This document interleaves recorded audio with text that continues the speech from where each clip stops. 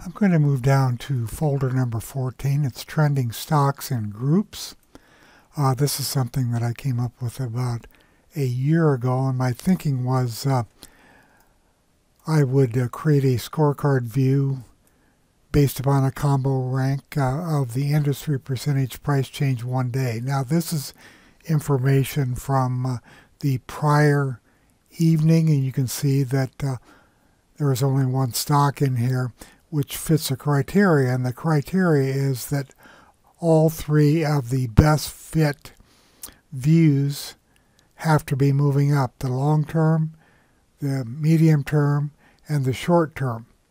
And uh, the industry percentage price change uh, has to be, well, let me open it up. Let's look at the filter. So the requirements are that these three trends be moving up and the EMA fan trend also has to be up. I didn't put a requirement in here that the group had to be up also, but uh, the strongest groups as of the previous day's download will come to the top of the list and you can see that the industry percentage price change one day yesterday was up 3.08%, followed by 2.61%, and that would be healthcare facilities. There's three stocks in here, and if you look over to the right, you'll see that all three of the healthcare facilities stocks had uh, best fit trends up, and also the fan would be up, or is up. And then these groups are up the most, just going in descending order. So if I go down to generic pharma, you can see that it was up 1.96%, and over five days it's been up 3.37%. This column right here is five days. This is one day. Now, what's nice about this is I can do this intraday, and uh, I'm going to go into the designer, and I'm going to go to the industries and sectors. I'll click on industries, just taking a filter off to show you that the industries are in here. And then I'm going under my tools menu and I'm going to select rebuild indexes in group. So my data is uh, up to date using Thinkorswim and uh, uh, what I'm going to find out here is uh, when I go back uh, to that uh, list of stocks, we're going to find out which groups are on top today. Okay, you can see that doesn't take very long. Now I want to go back to all securities. Click back here and make sure my filter is engaged. And uh, this shows me that uh, this group electrical power equipment is up 6.9%. I'm doing this on October 30th, by the way. And renewable energy uh, products projects, the group is up 2.54%. But notice there's only one stock in each one of these.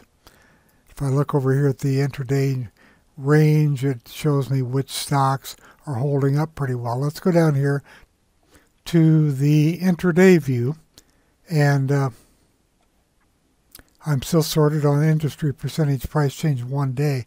It doesn't matter uh, if this is really an end of day combo because I've updated and uh, I, I, just did an update with intraday data so it thinks that uh, this is uh, the end of day number. It's actually the intraday number but you can see that uh, nothing has changed here. If I go back to the prior view, you can see electrical power, renewable energy project, infrastructure construction.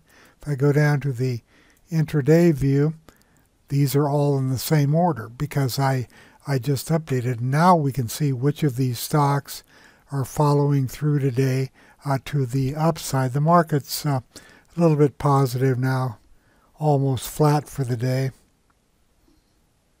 So the intraday view agrees with the end of day view because they're one and the same because of the updating. So let's go down here. Let's see what's infra infrastructure, infrastructure construction, consumer electronics, security, precious metal and mining has has three. Large pharma has three. So these are the groups that are showing some strength, and these are the stocks within those groups that are exhibiting uh, best fit trends to the upside, and also the fan is up. So I'm going to bring this this uh, stock up. It's uh, AstraZeneca. You can see that uh, all of the indexes are up, and uh, the fan will be up to. That's kind of a sloppy looking chart. Crocs is a stock I mentioned on the, the board when it was just coming out of this cup right here. It moved up. I uh, sold some options on it, uh, so I made money as it went up, and they reported earnings today, and the earnings were uh, very good. And you can see it's in the apparel, footwear, and accessory group, and uh, it, of course, is uh, leading the way at 1289. Uh, so um, this this is good for end of day and intraday, and uh, this is just the opposite. Stocks down in groups.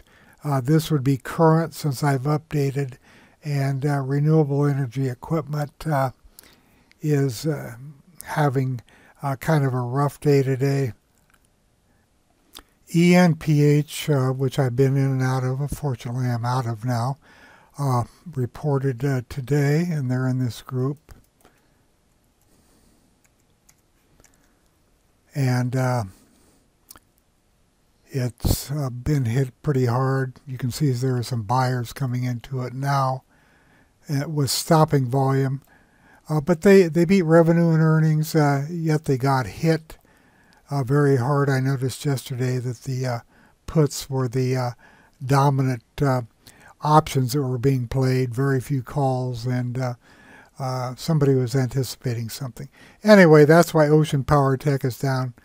It's in the uh, same group, and uh, you can see that uh, this has been pretty weak. I'm going to continue to watch this stock. Uh, other buyers or buyers are coming in, and it it may reverse itself.